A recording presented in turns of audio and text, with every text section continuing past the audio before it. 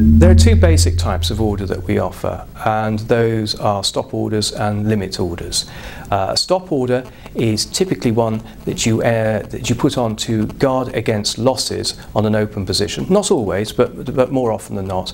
Uh, a limit order is typically where you want to enter a market uh, at a better price than currently exists in the market. So you're waiting for the market to either fall down to a lower level uh, where you would buy or rise up to a higher level where you would sell. Uh, the other type of orders that we offer, we have, we, we have guaranteed stops. So in other words, if you uh, have an open position, you have a guaranteed stop on that.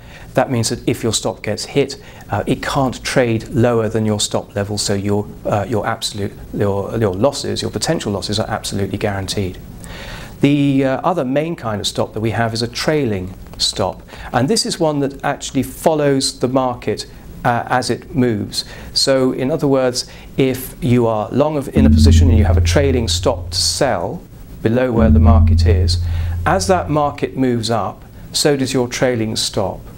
But then if the market starts to move down, the trailing stop uh, is, then, is then stuck in place and then if the market falls down further, uh, you are stopped out on the, on the basis of that stop, but it is at a higher level than it would have been initially if the market hadn't moved higher.